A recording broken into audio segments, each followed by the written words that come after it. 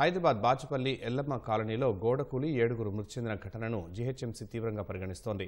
హైదరాబాద్లో శిథిలావస్థలో ఉన్న ఇళ్ళను సర్వే చేసి నివేదిక ఇవ్వాలని GHMC commissioner Ronald Ross town planning అధికారులను ఆదేశించారు. టౌన్ ప్లానింగ్ సీసీపీతో నిర్వహించిన రొనాల్డ్ రోస్ వర్షాల కారణంగా ఎలాంటి ప్రమాదాలు జరగకుండా పటిష్ట చర్యలు తీసుకోవాలని ఆదేశించారు. సర్కిళ్ళ వారీగా శిథిలావస్థలో ఉన్న నిర్మాణాలు నిబంధనలకు విరుద్ధంగా ఉన్న సెల్లార్లను గుర్తించి ప్రమాదాలు జరగకుండా ముందస్తు జాగ్రత్తలు చేపట్టాలని సూచించారు. శిథిలావస్థకు చేరిన నిర్మాణాలు ప్రహరీలు సెల్లార్ల తవ్వకంతో ప్రమాదాలు జరిగే అవకాశం ఉన్నందున నిర్మాణదారులని హెచ్చరించాలని రొనాల్డ్ రాస్ సూచించారు.